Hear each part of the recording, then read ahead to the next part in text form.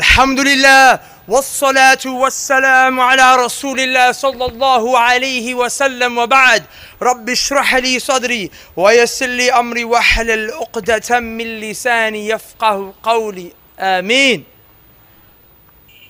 السلام عليكم ورحمة الله وبركاته How is everyone today? Are you guys okay? Can you guys stand up for me for a second, please? Quickly, quickly, quickly, quickly. You guys ever done any martial arts training or anything like that?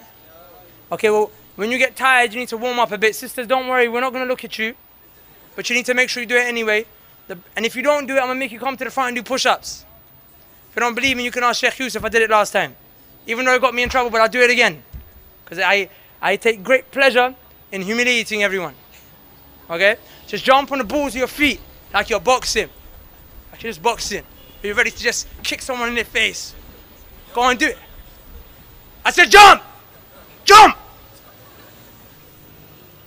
Okay, sit, sit, sit. Alhamdulillah. Now, can I just ask maybe two or three sisters from the back to call everyone who's out there into the into the auditorium kind of thingy jig because I have something very important I want to share. And is there, if there is anyone outside this place, I want them inside. Because inshallah today, I promise you, I promise you, if you listen from your heart, not your ears, your life will change today. I promise you that. I promise you, inshallah. Inshallah, inshallah, inshallah. Look, the, talk, the topic that I'm going to be discussing with you people today, inshallah, is about happiness. The title of this talk is Happiness Is. What is happiness? We define happiness by many things. But before I go into talking to you about the crux of what I want to explain to you today, what I want each and every single one of us to understand is the fact that anything we do in life, anything, the objective is always to acquire happiness. Or, or to move away from unhappiness. Is there anything that you do that doesn't fit into one of these two categories? Is there anything? If you go and study, either it is to acquire the happiness of a good job, or it is to run away from the unhappiness of your dad pulling out a belt and slapping it around your face. Am I wrong? There is always an element of happiness that you're either trying to acquire or an unhappiness that you're trying to move away from. For that reason, happiness is very important, right? Which is why I commend Sheikh Yusuf for coming up here and talking to you guys about the fact that this dunya is making people who have already acquired this dunya extremely unhappy. And we think that the dunya will make us happy, right? I want to talk to you from my own personal story of what I thought happiness was and how I found true happiness. To the extent where, wallahi, I challenge each and every single one of you. Wallahi, I swear by Allah, Allah the qasam, I challenge you I genuinely feel as if I am the happiest man on this earth right now. I'm honestly, I'm yet to come across someone who is happier than me. That I can say this person's happier than me. I don't know, maybe it's there. Maybe she's there. Maybe one of you guys. But I'll challenge you to it. And I'm going to tell you how I acquired this happiness. So you can walk out of this room, inshallah, with the formula. I don't promise I will leave you happy. I can't do that. When we said, Yeah, Muqallib, we talk to Allah. He's the one who changes the hearts. Right? What I can do is give you the formula. It's up to you if you want to live a depressed life and die in your own nappy, in a toilet seat, like many people have, addicted to drugs, alcohol all around you, or you want to die with a smile on your face, eager to meet your master, subhanahu wa ta'ala. I need to explain to you a bit about where I'm coming from, but it would be very nice if I could get a portable mic. Because I, you know, I, I feel restricted here. I want to move around, jump around, and do backflips and roly polies all over the stage. And they're trying to make me stand here like a posh old Sheikh Yusuf. I'm joking, I'm joking. Or like a Mancunian Johnny. I'm gonna get you by the way, don't worry. So look, my name is Imran. I came from a background in the UK that is not very good.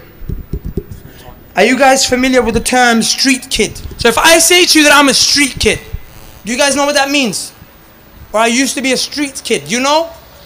It's like what you would say in Urdu is a badmash, a gangster, someone who rolls in the ends. If you look at me funny, you might get punched in the face. That's the kind of environment that I grew up in, unfortunately. I went to the 13th worst school in the country. Now you have to understand that when you're living in an environment like this, one of the things that comes with the package is poverty. People don't have money. Don't, they don't have food to eat. They don't get big posh university degrees. They're victims to prejudice and racism, right? These people, they don't have a way out like you guys do, mashallah. But they still have to feed their families. They still have to put food on the plate. So they resort to things like fraud, drug dealing, pimping. You guys know what pimping is? It's a filthy job.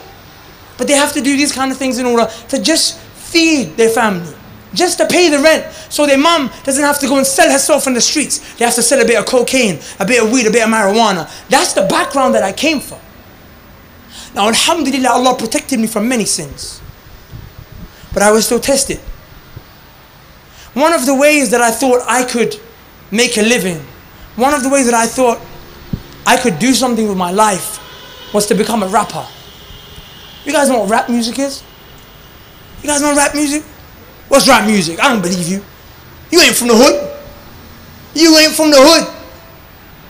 You lot fake. I used to come to Pakistan when I was nine, eight years old. I used to see Tupac is alive, graffitied all over the wall. I was like, you guys don't even know who Tupac is. Masha, you guys have it nice here. What's rapping? Put your hand up. What's rap music? Ah, no one's confident enough to. Look, rap music is a culture that came as a result of gang violence. It came as a result of gang violence. For example, they know that if I have a if I have a problem, look, rap music, right? It's a culture that came from gang violence. Say my gang is gonna go up against Johnny's gang, and Johnny's gang obviously is gonna get ruined, violated, and left for dead, buried six feet under the ground. This is how, we roll, right? Manchester. That's how we roll. So, in order to stop the casualties, in order to prevent the death and the massacres and the murders, the, the, the rap music was something that just organically grew. So instead of me taking out my gun and shooting him, or me taking out my knife and stabbing him, I would come and I would rap with him. And we would have a battle. We would rap. Like in the time of Muhammad Rasulullah sallallahu alayhi wasallam, when before they used to go for war, they would bring the poets from their tribes and the poets would compete. It was very much a similar culture like that. So you can imagine I'm rapping about some crazy things, some violent things. Like, if you look at me funny, I take the Glock out. I make your blood runny. Astaghfirullah, that kind of jail, pathetic stuff. But you know what? I became very good. And I started to get known. And people would know my face. We call this fame. There are many rappers that you guys may have heard of, may have not heard of, that are very famous in the industry. And I've made songs with them, and I know them, and I facilitated some of their music careers. And I'm on some of their songs right now, but you'll never recognize my voice and you'll never recognize the name. It was a totally different name. So don't ask me because I'll never tell you. The only person who knows is Musa because this guy's snaky. He went undercover and started looking through my files and researched me. Did like an FBI, CIA, ISI profiling of me and he uncovered everything of my past. But I'm trying to make you understand that I was on my way to becoming the first official Pakistani rapper, to making real money. And I made money. I was 16, 17 years old, and I used to make so much money that I did not know what to do with it. You name it, you name the brands, the clothes, Wallahi, I had them all. Wallahi, I had them all. There was not a brand that I wanted that I didn't have. There was not a jacket that I wanted that I didn't have, or a pair of trainers. There was not a holiday that I wanted to go on that I didn't go on. I was able to spend my money however I wanted, to the extent where I made so much I didn't know what to do with it. So I would go to my friends and I would say, What can I buy you? Xbox 360, come, let me take you to the shop. I'll buy you an Xbox. You guys know what Xbox is, yeah? Some people are, like, no. You are not living in the 21st century, my friend. Yeah, you need to fast forward. We're in the year 2014. but I would buy them Xboxes and I would take them shopping and buy them. I would take them on holiday with me and buy them a PlayStation 3 from Dubai while we're there. This is the reality. So money I had, no problem.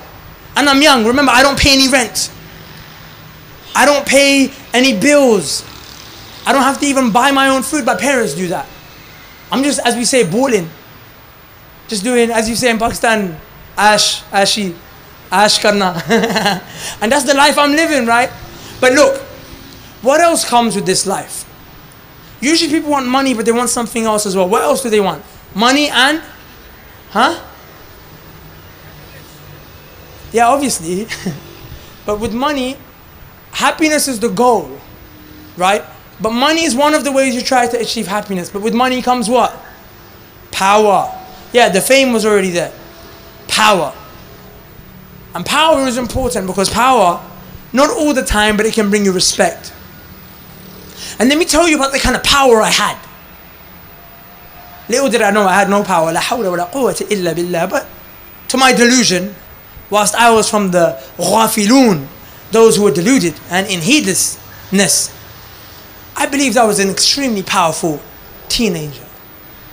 I could go to pretty much any part of the country, and if someone had an issue with me, I would make one phone call, and there would be a gang of people from wherever I summoned them that would be ready to violate people, to hurt people, just because I called them. Literally, to the extent where people would see me, they would know, don't mess with this guy. We don't even want to look at his shoes. They wouldn't even look at your shoes if they know you are a bad man. They would not look at your shoes. My shoes cost a lot of money, you might give nothing. So I had money, I had power and respect. Now, I feel really embarrassed to admit the third thing to you.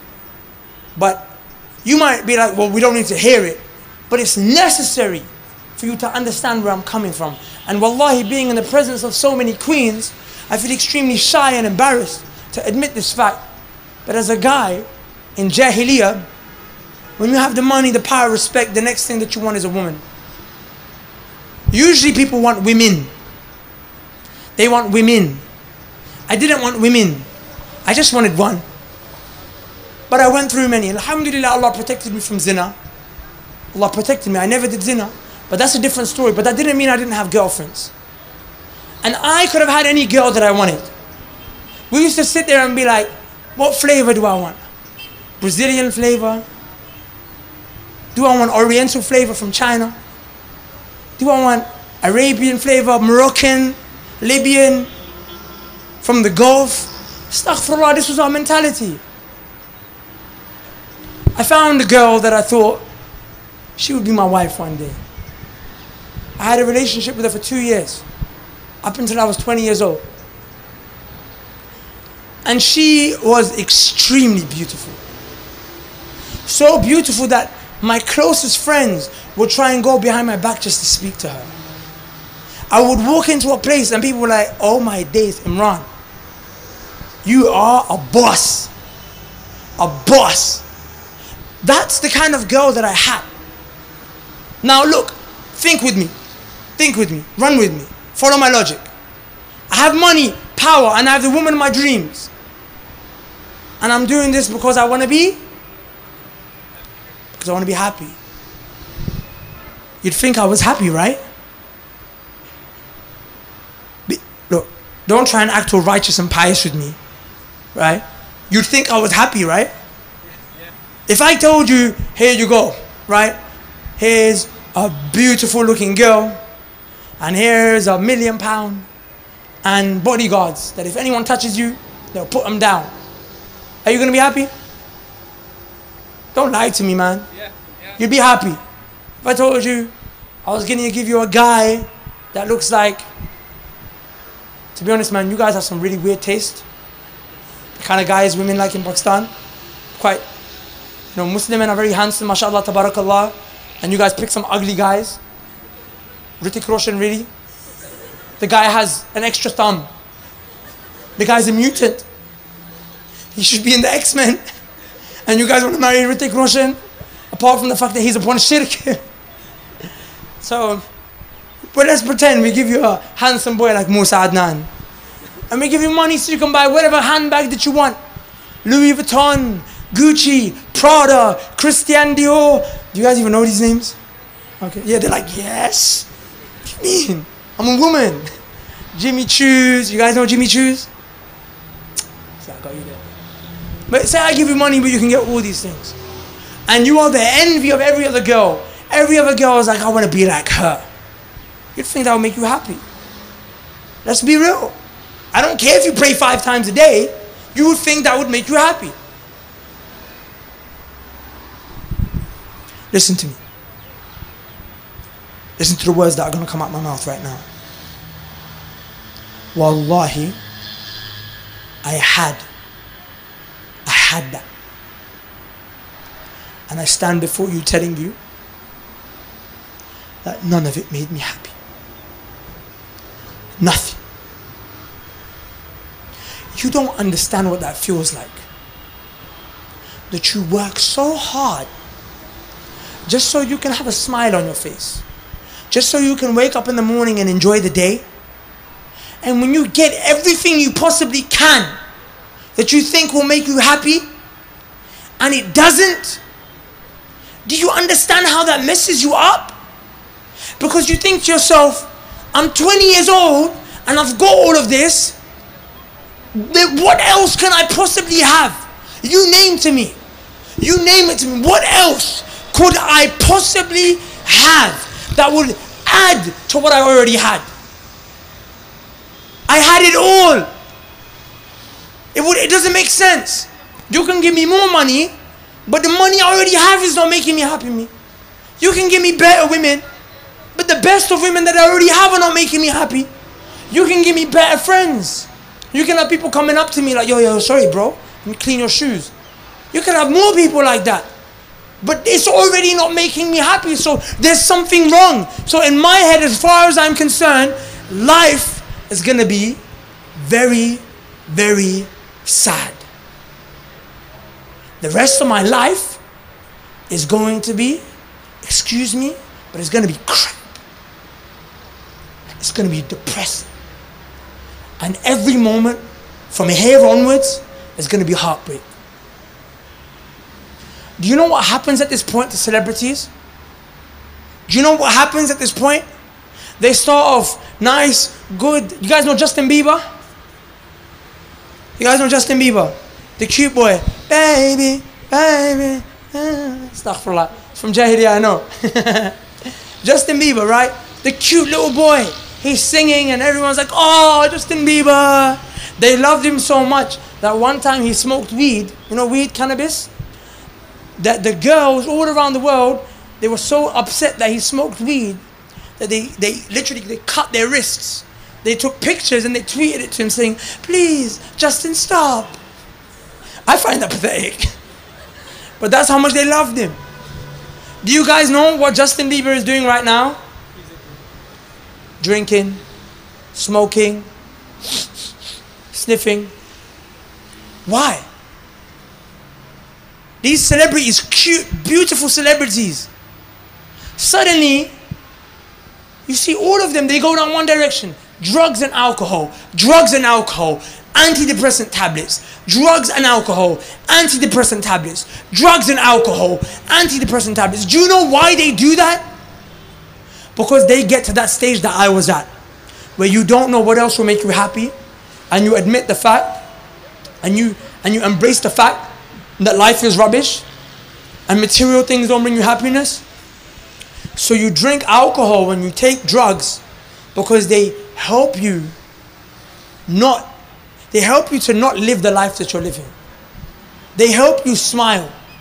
Drugs help you smile. Alcohol makes you forget about the pain. It makes you forget about the difficult life. It makes you forget about the fact that you used to dream of this life, and when you had it, it turned out to be a piece of C-R-A-P explanation mark. Elvis Presley. You guys know Elvis Presley? You guys know Elvis Presley? Then answer me, innit? Elvis Presley was one of the most famous men in the world. He was beloved by the people. He had so much money. He would come on stage every night. He would perform in front of 10,000 people screaming his name. They loved him. And each one of those 10,000 people would have paid $100 just to come and see him live. Just to come and see him live. You know what he would do every night when he'd go home? He would take the drugs ready, he would inject them into his arm. He would use that to soothe himself. He would do that three times in a night. It used to mess him up so much that he couldn't even use the toilet properly. He had to be taken to use the toilet. Close to his death, he had to wear nappies. And he died in his own toilet wearing a nappy, not even being able to go to the toilet. Someone asked his brother, why on earth did Elvis Presley need to take drugs? He was loved by the people. He had everything that anyone would want in life. Why on earth did this man die like that? You know what his brother said? He said, because not being sober was too painful for him. It was too painful for him. That life, too painful. He had to run away from it. As Brother Johnny indicated, we were with Brother Shoaib Akhtar a few days ago, a new friend of ours, the Rawalpindi Express. And you guys know his life. Playboy. He was a playboy, right? He used to go wherever he wanted in the world, live the life that he wanted to live. He said, 25 years I was depressed. I had to retire from cricket two and a half years ago because if I didn't, I would have ruined my life.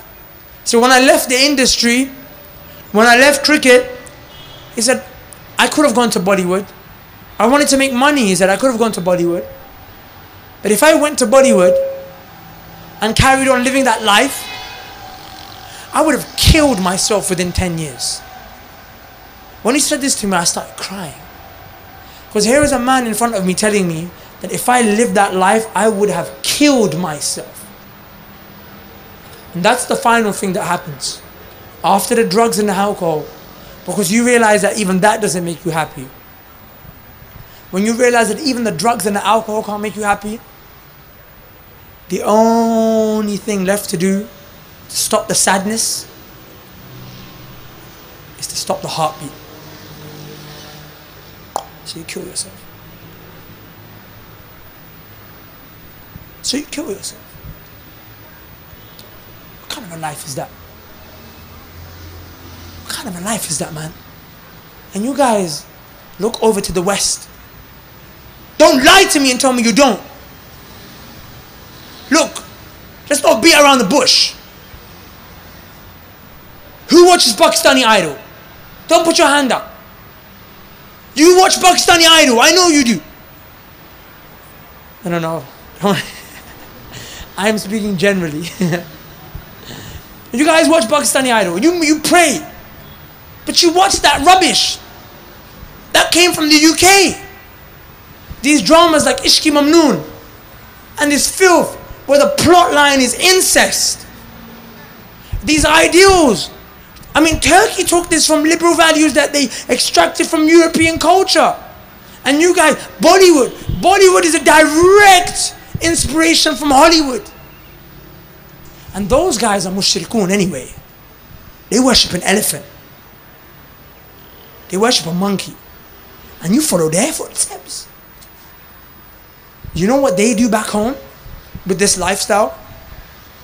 They kill themselves. Suicide in England has been on the rise for the last 20 years. For the last 20 years, suicide has been on the rise. But in England, you have everything. You have food. You have a house. You have, you know, you, you, you, you don't get, you don't have to worry about drinking water and you're going to get hepatitis. You don't have to worry about these things. Everything's calm. Everything's hunky dory. Why the hell are you killing yourself then? consistently. Norway is the richest country within Europe. And it has the highest suicide rate. Also has the highest atheist rate. Connection. You don't have a Allah in your life, what happens? What happens? When you don't have a Allah in your life, there's no happiness. I'm going to come to that. I need you to understand this, brothers and sisters. I need you to fully understand this. Because Allah subhanahu wa ta'ala, when He created you, He wanted you to be happy. So when He made your heart, He left an emptiness inside your heart. And this emptiness yearns for happiness. But a specific kind. Do you ever get that feeling that, okay, when I get this grade, I'm going to be happy? When I buy this outfit, I'm going to be happy? But you're not. You can get an A grade and graduate top of the class, but a week down the line, that happiness is not going to last. That grade is not going to keep you happy. You can get married and find an amazing husband. But the moment he upsets you, he broke your heart. The moment he chooses his friends or goes to play cricket instead of spending time with you, your husband is the source of your unhappiness. And that hole in your heart feels pain because it always wants to be happy. And it always wants to be taken care of. But the dunya can't fill it. And the dunya can't take care of it. Only Allah can. So let's pause and come back to my story. Now I had all these things. I had to run away from them. I shut down my recording studio and I left the music. I left it. I wasn't going to wait around and see if I was going to end up taking drugs. I wasn't going to wait around to see if I was going to end up killing myself. I knew it wasn't going to bring me happiness. I didn't know what will bring me happiness, but I knew this wouldn't, so I left it. I left my girlfriend and I left my friends. For eight months, I was a lonely person. I had nothing. I was broke. I had no friends. I had no love. I was alone. I happened to be at university studying law. I hated law. Made me even more sad. I would rather bleed pus from my eyes than pursue a career in the legal profession. Can you?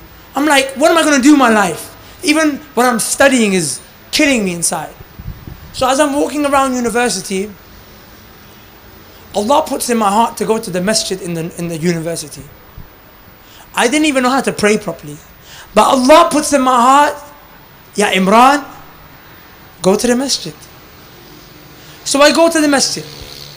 And I'm sitting there, looking depressed. This one brother, he comes up to me and he says, Salaam alaikum akhi, wa alaikum salam. He asks me, why do I look so sad? So I tell him my story. And at the end of the story, you know what he says to me? He says, So let me get this straight. You put your happiness in the music. I said, Yes. He said, You put your happiness in the friends. I said, Yes. He said, You put your happiness in the girl. I said, Yes. He said, Then I have some news for you. If you put your happiness in these things, he said, Wallahi, you're going to live a very, very, very sad life. He said, You know why? Because when these things go, what's going to happen to your happiness? Your happiness will go. And wallahi, these things will go. Because nothing in the world is forever. So your happiness, rather your unhappiness, your sadness, your depression, your wretched and rubbish life is a guarantee.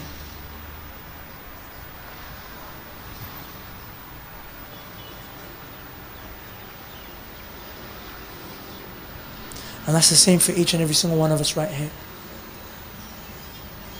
If your happiness is in anything that is a part of this world, your degree, one day you will retire. You might get sacked. Who's going to make you happy then? Your husband? What if you get divorced? What if he doesn't make you as happy as you thought? The money? What if it gets taken away from you? Something that you love will take, get taken away from you. And with it, your happiness will go. When he said that, it hit me like a ton of bricks. But then he smiled. He smiled and he said, But. He said, There is a way to be happy forever. He said, There is a way where you can be happy for the rest of your life. He said, Put your happiness in the one that will never leave. And as a result, your happiness will never leave. I said, Who? He said, Allah subhanahu wa ta'ala. Brothers and sisters, since that day, I have made it a personal mission to fall in love with Allah subhanahu wa ta'ala. A personal mission. And I believe I'm on that journey. Which is why I stand before you as the happiest man in the world. Because Allah already gave me anything and everything I could desire. So there is not a single human being in the world. There is not a single human being in the world that can give me something I don't already have. Nor is there a single human being in the world that can take something away from me that I love. Does that make sense to you? Before I conclude, I want to touch upon one more point.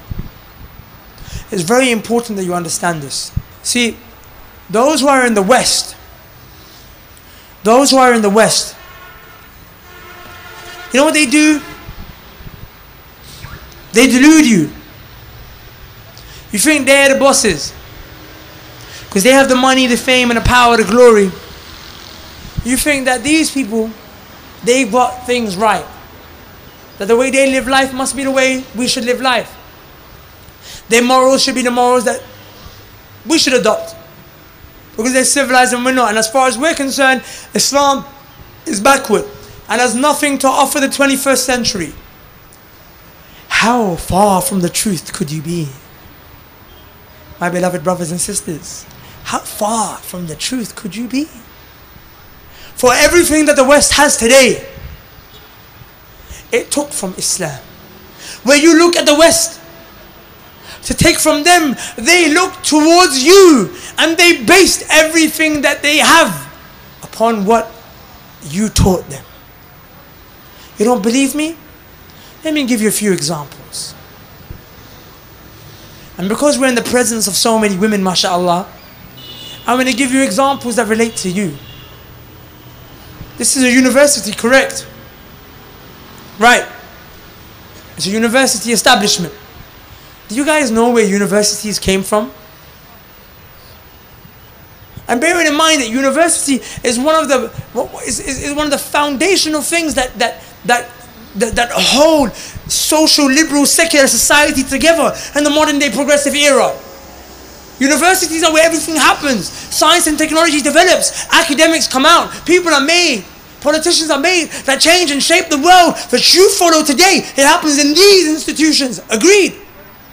Do you know where the university came from? Does any one of you know? Just raise your hand. My sisters, listen very closely. University. The first university was invented by a Muslim woman. Her name was Fatima al-Fihri, rahimahullah from Morocco, a young teenage girl who was studying the religion of Islam but had a desire to become an alima, a woman of knowledge in this religion and also in the general sciences. So she established the first ever university. Who says that Islam oppresses women? Who says that Islam doesn't want women to study? Wallahi, the university is a legacy of you Muslim women. appreciate this reality. So you should be proud. Forget going to their countries to study. What on earth are you doing? I'm gonna go and study in the USA, Harvard, Oxford. As we say in the streets, bond that fam. You should be creating these establishments here, reviving the honor that Allah subhanahu wa ta'ala gave to you. But He gave you this honor when you had this book close to your heart. But when you left this book, Allah subhanahu wa ta'ala took that honor away from you. You want me to give you the evidence? What do you guys wear when you graduate? You have the graduation robes and you have the hats. Does this look familiar? What does this look like? I'm asking you a question. What does this look like? Huh? Graduation hat. Do you know what the scholars would do? When the children, when the youngsters, when the teenagers, when the students would graduate, they would say, MashaAllah, Allahumma barak, tabarakallah. Today you are a learned and educated man. You are graduating from this establishment. You have the ijazah to go out there and work and teach. However, bear in mind that this book is above your head. The kalam of Allah is the real knowledge.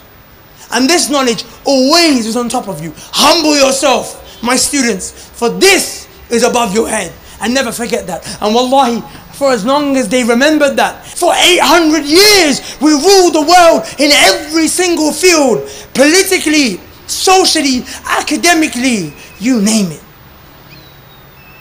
You name it. The robes that you wear when you graduate. Have you not seen what the shayukh wear? The imam in Masjid al-Haram in Mecca or the imam in Masjid al-Nabawi wear? They wear the robe. Exact same robe that you guys wear when you graduate. University. All of this is a legacy of the Muslim woman. So why are you running away from all that Islam has done? Bearing in mind that they took it from us.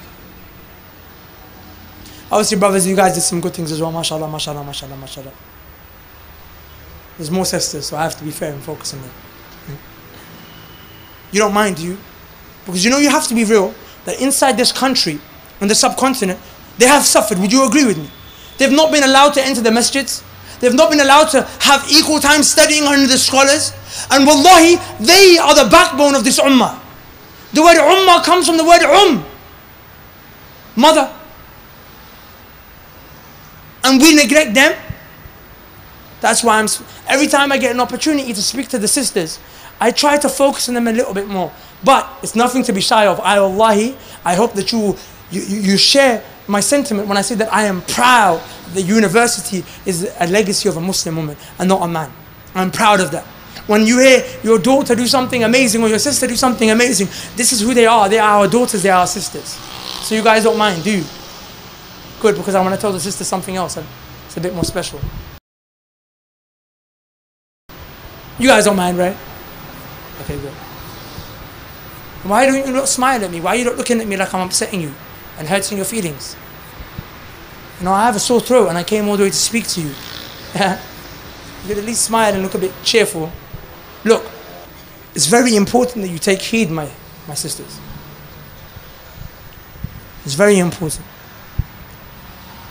Allah subhanahu wa ta'ala says in the Quran, إذ قالت الملائكة يا مريم إن الله اصطفاك وطهرك واصطفاك على نساء العالمين Allah says and relate to them the story when the angel came to Maryam and said Oh Maryam Allah has chosen you purified you and chosen you as the best of women from amongst the alameen This is your role model So I want to tell you something from the Quran so you can take away honor that Allah gives you an empowerment from her story, not from Beyonce, not from Rihanna, not from Condoleezza Rice, from Maryam alayha salam, salamun alayha.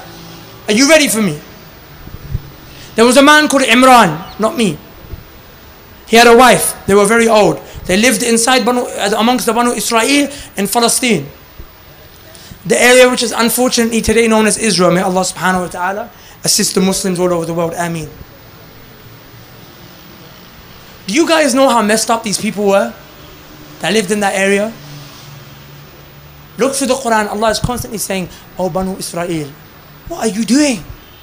I gave you everything, I honored you as the greatest nation. And you know what they ended up doing? They murdered 70 prophets by one rock. There's a narration that says, by one rock they murdered 70 prophets, Anbiya of Allah subhanahu wa ta'ala. Is there a sin that you can think that's greater than that? Apart from shirk? Killing prophets. They cut Yahya alayhi salam's neck off. They sawed Zakaria alayhi salam in half. They had internal problems clearly. They were messed up. Externally, they were oppressed by the Romans. The Romans had taken over. These are people who are suffering. They're in a bad situation. Agreed. Imran alayhi salam and his wife salamun alayha righteous people. They looked at the situation that was around them and they wanted to do something different. They wanted to make change. They wanted to flip the script and change the scenario. They made dua. The wife of Imran, she makes dua. She says, Ya Allah, bless me with a son. Because this son, I'm going to put him in your path so he can make change and change history and fix things here. When you look at the tafsir, they explain this is why she made the dua. So she makes this powerful dua. She's an old woman, she cannot have a baby. But then she becomes pregnant. Is this not a miracle? An old woman, she's a buddhi, old woman, but she has become pregnant. Is that a miracle or not? Now, if you are in her situation and you've just made three du'as that you become pregnant with a son who will change the world. If the first one comes true, are you not going to think the second two are going to come true? That you're going to have a son who's going to change the world. But then she has a baby. She's giving birth. Can you imagine how excited she is? But she doesn't give birth to a boy. She gives birth to a girl. She's disappointed. She's disappointed.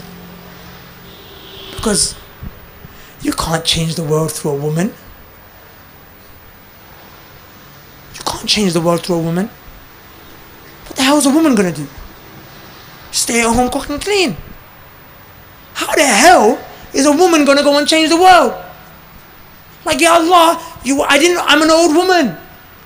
I didn't want to suffer pregnancy just so I can have a girl put lipstick on her face, ponytails and pigtails, and walk around and show her off so everyone says, MashaAllah, kitni khubsurat hai. Ya Allah, I wanted a son to change the world. Can't change the world through a girl. Look what Allah subhanahu wa ta'ala's response is. والله أعلم بما وضعت وليس الذكر كالأنثى Allah says, O wife of Imran, you think I don't know what you have given birth to? You think I don't know that you just gave birth to a girl? The male and the female are not the same. Do you know what Allah subhanahu wa ta'ala is trying to teach us? That if you want to change the world, you don't do it through us. If you want to change the world, you change the world through you guys. Through you guys. So every time you turn on the TV screen and you see blood on the streets and you see Muslims suffering, ask yourself, ask yourself, how long is it going to take you to return back to Allah, acquire true happiness? Because however long it takes for that to happen is how long Muslim women and children are going to be getting buried alive, raped, murdered, massacred, and dying of hunger. My teacher, my ustad, he said to me, Wallahi, the situation of the ummah will not change until the queens of our ummah realize their role. And that's each and every single one of you. Do you see what I'm saying? So it's necessary for us that you are more special and have a greater relationship with Allah than us. Wallahi, it hurts me when a Muslim man leaves the religion. It hurts. But if a man leaves the religion, he's just one guy who left the religion. But if one of you leave the religion, if one of you take off hijab, if one of you stop praying, if one of you listen to music, if one of you become someone of fisq, of rebellion and sin, an entire nation just deviates with you. If you leave, an entire nation just leaves with you because you are a queen of your own nation. This is why the word ummah comes from the word um, mother. Do you see what I'm saying?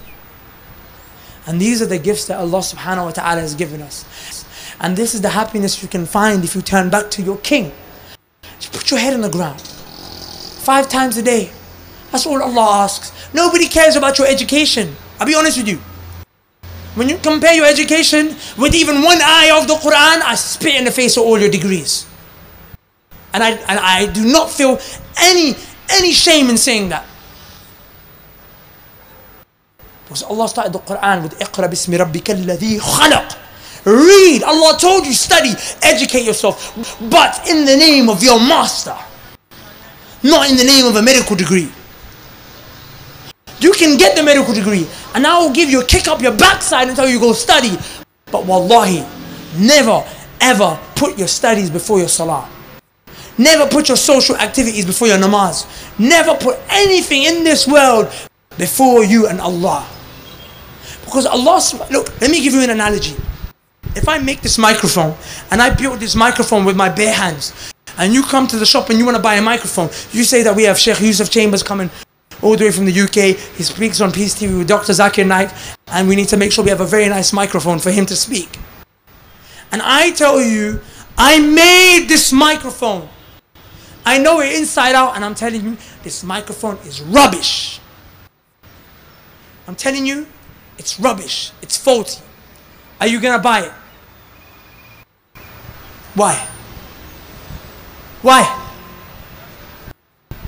Pardon? Because I'm the maker. I know it better, right? So only a fool would come and buy the mic. Agreed. Now look what Allah says. Allah says that He created the heavens and the earth. This dunya that we live in, He subhanahu wa ta'ala made it with His hands. Listen, He made it with His hands. Allah subhanahu wa ta'ala tells you that in His sight, this dunya is not even worth the wing of a fly. A wing of a fly. A fly goes and sits on toilet. A fly likes that environment. It sits on the garbage in the toilet. If it go, if it sees a piece of poo, it will jump on the poo. That's what it likes. It has fun. But not even the entire fly, just its wing. Allah said, one wing, this dunya is not even worth that deep, really, your degree is part of this dunya. Unless you do it for the sake of Allah, it's not even worth the wing of a fly. So I don't care if you have an exam the next morning, but if you miss Fajr prayer on purpose, just so you can get a good grade, just so you can go out and have a good time with your friends, you just traded in your akhirah, your life, your relationship with Allah for something that's not even worth a wing of a fly. What a stupid investment. That kind of person is an idiot. That kind of person should go to the mental asylum. That's not normal. That you give up the riches of the heavens and the earth that Allah has prepared for you for a wing of a fly. Let's leave on a positive note. We're talking about happiness in Allah, that's the theme. If you have a relationship with Allah, you have happiness. That's the theme. That's what we're talking about. You follow me? There is something that Allah has prepared for you that is going to make you so happy. It's going to make you so happy that Allah can't even give it to you in this world. Because you might die. And you know when you have so much fun and then you have a heart attack? You know, people they're clubbing and they're dancing so much that suddenly they die because they're having so much fun. This one thing that Allah has prepared for you is going to bring you so much happiness. It's going to be so fun that if Allah showed you even a fraction of it in this world, you would die. So Allah has prepared it for you in Jannah. Let me explain to you what it is. When you go inside Jannah, first you're going to have a conversation with Allah. Allah is going to ask you, and guys, please give me five minutes of your time and I'm done, inshallah. I know it's been a long day, but this is the, this is the grand finale. This is, this, is, this is the body slam. It's the Mike Tyson haymaker. Is the shank that cuts through the jugular vein, like in Kill Bill. Now, you didn't understand the joke? SubhanAllah. Laugh. Laugh.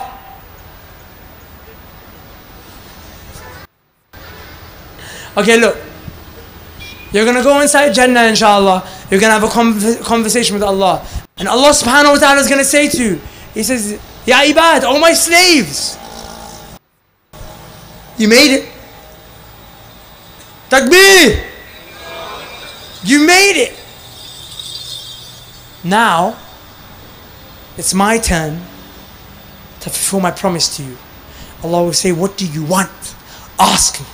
Ask me whatever you want, whatever your heart desires. And you say, Really, Allah, anything? Allah, can I get some Jimmy Choo shoes and some Gucci handbags? Can I get a Ferrari car that flies in the back of an angel? Right? Can I get 70 to a Hur al Inshallah, inshallah, inshallah, inshallah. I have to. Who said astaghfirullah? Who said astaghfirullah? If I start pulling out some ayat of Quran, وحور عين كأمثال اللؤلؤ المكنون جزاء بما خير يعملون Inshallah fast. You want to know what you guys get? You really want to know what you guys get? Do you know that Yusuf alayhi salam, he had half of the world's beauty. Ahur is beautiful but half of the entire world's beauty in his face. So much so that when the women walked past, when he walked past the women, he was cut, they were cutting fruits and, and vegetables. Allah subhanahu wa ta'ala says, وَقَطَّعْنَا They sliced right through their fingers and they didn't even feel the pain because they're like, Imagine their finger has fallen off, it's been cut right through. وَقَطَّعْنَا The exaggerated version of sliced right through, they cut it off. They're like, imagine that kind of beauty.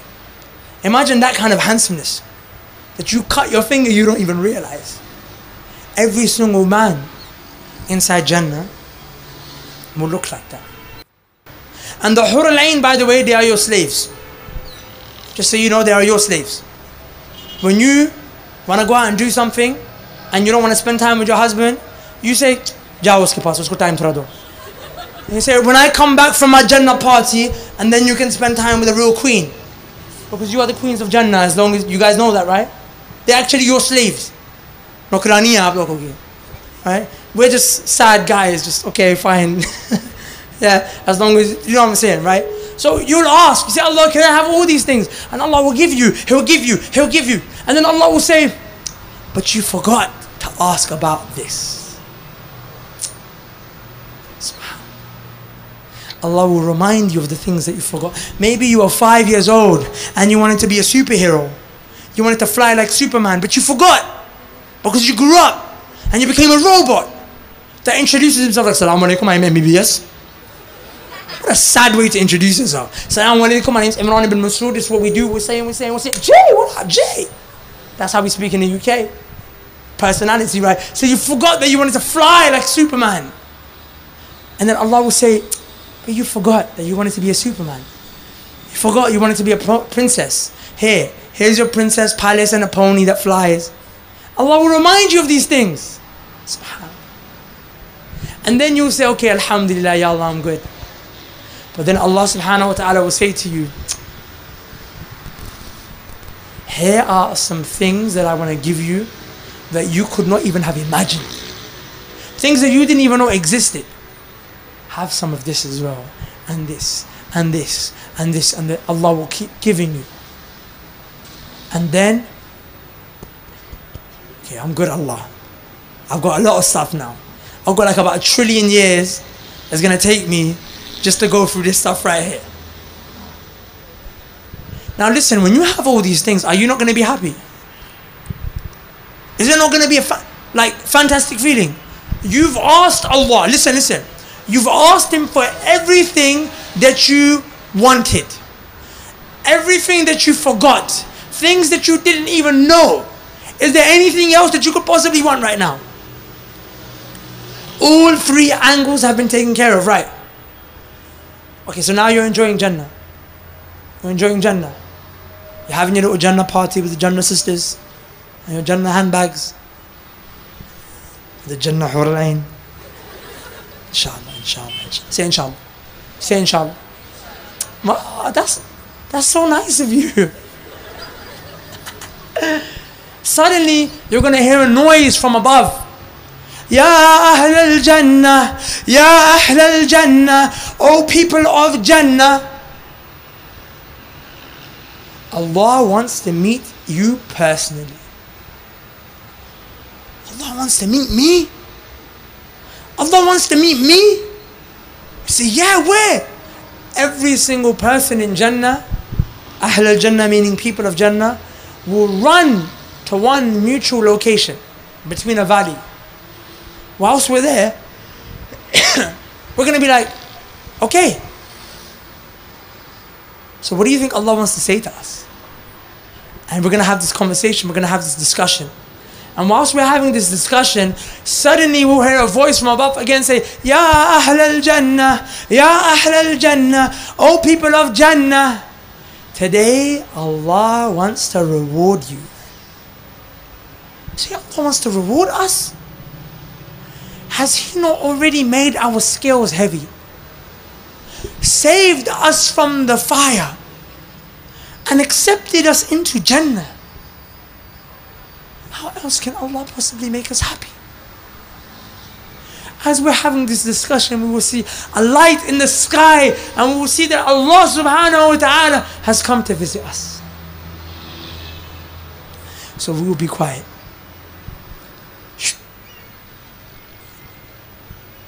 You don't speak in the presence of a king. You don't want to speak in me, you want to see what he has to say. So we will say, we will stay quiet, and Allah will speak to us. Allah will speak to me and you. And Allah subhanahu wa ta'ala will say, Ya Ahl al Jannah, O people of Jannah, هذا يوم المزيد This is the day where I'm going to give you more than I have given you previously. So ask me whatever you want. The only thing that we will have to ask at that time, the last thing that we will desire. Remember, we've been given everything. The only one thing we will want, we'll say, Ya Allah, we just ask that you're happy with us. अब खुश है हमारे साथ Have we made you happy, Ya Allah? And Allah will say, Ya Ahl al Jannah. If I was not happy with you, you wouldn't be here right now. I told you to ask, must ask me for something more. Not something I've already given you. I'm already happy with you. Ya Ahl al Jannah. Hada Yawm al Mazid. Ask me more.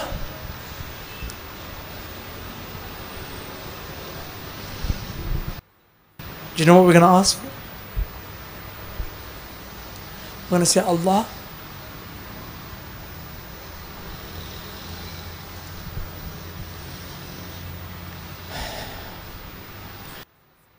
Just show us your beautiful face.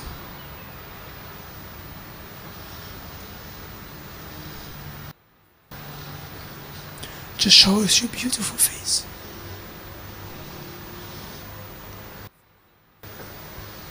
And Allah subhanahu wa ta'ala will remove the covering from his face.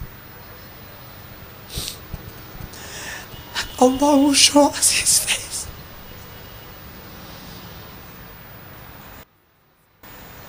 We are not worthy of seeing His face. Allah will show us His beautiful face. And then in that moment when we're enjoying His face, the face by which all darkness is expelled and everything becomes light. In that moment, Allah will remind you. And He will say, Do you remember that boy that you used to speak to? Remember that sin that you used to do? Remember when you used to disrespect your parents? Remember when you used to message that girl on Facebook and watch those dirty videos online? Remember when you used to miss that namaz? Remember when you used to do chugli?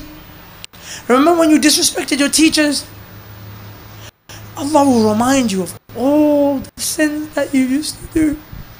And you will remember that time that you are not worthy of seeing His face. And He has given you everything. And the greatest honor, which is that you can see Him. You will say, Ya Allah, just forgive us.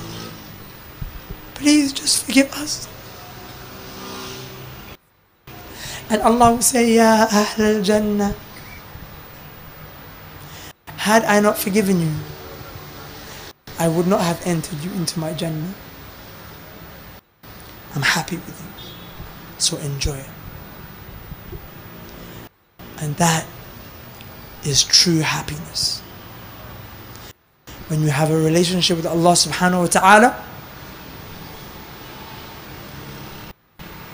the whole world can turn its back on you. It's okay. As long as you make tawbah. And tawbah means to turn back to Allah. The one thing that I will leave you with. I never say to you, break up with your boyfriend. Break up with your girlfriend. I'll never say to you, stop listening to music. I'll never say to you, stop backbiting. Because this will happen the moment you fall in love with Allah. And the way to fall in love with Allah is to learn about Allah, know Allah. Allah created you to obey Him and worship Him. You cannot obey Him if you don't love Him. You cannot love Him if you don't know Him. Today you learned a bit more about Allah. Do you not love Him a little bit more? I'm asking you. Do you not learn about Allah today? Did that not make you love Him more? Learn about Allah. You will love Him more. You will obey Him more. Today, do you not feel like stopping some sins? Do you not feel like doing better things? Obeying Allah more? The formula is learn about Him subhanahu wa ta'ala. Study, implement, apply, then teach. But the basic thing I will tell you to do. And if you don't do this, which is the salah, the namaz, understand that you will enter the hellfire. خالدين فيها فيها أبدا inside it for eternity never coming out that's the basic basic relationship with Allah he didn't create you to worship the people he created you for himself you will go to the hellfire if the least that you cannot do is lower your head five times a day and say, Alhamdulillahi Rabbil Alameen. Ar-Rahman Ar-Rahim. Oh, praise and thanks is to you, Allah. Thank you for everything that you have given me my eyes, my ears, my mom, my family, my mind, the education, the grades. Ar-Rahman Ar-Rahim, the most merciful. Why are you merciful? Because Allah, you gave me these things even though I didn't deserve any of them. That is why I will thank you. And Allah says in the Quran, thank me and I will give you more. So pray. That is the formula to increase, to success. That is the formula to happiness. That is the formula to Jannah. Learn about your Master subhanahu wa ta'ala. اللهم صل وسلم على نبينا محمد